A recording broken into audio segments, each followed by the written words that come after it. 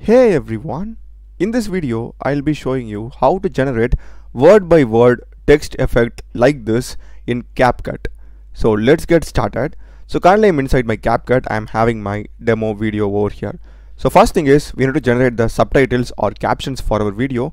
So for doing that, just go to text option over here to the top and here we will be having auto captions. Just click that and here we need to select the language which is English or the desired language that you have and check this clear current captions in case if you have typed captions.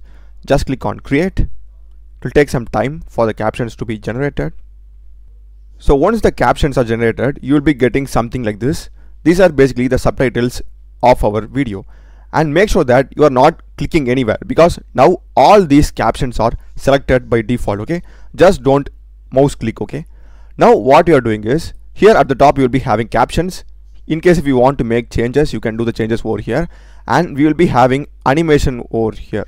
And in this animation we will be having four options in out loop and captions. Just go to captions.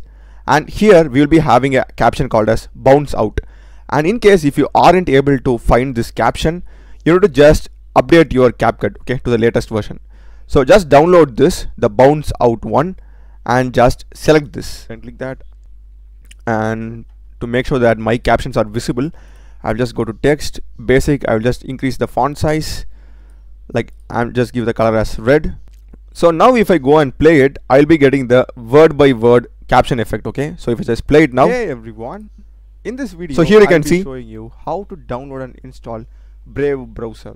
So let's get I'm getting only one word per time like one word one word it goes Just on like go that. to Google and type download Brave browser. So here you can see this is basically the word by word or one by one word effect in CapCut and this is how you do it. So I hope you would have found this video useful. Do check the playlist of my channel. I done a lot of videos in programming and AI in general. Check them out. Subscribe me. Thanks for watching.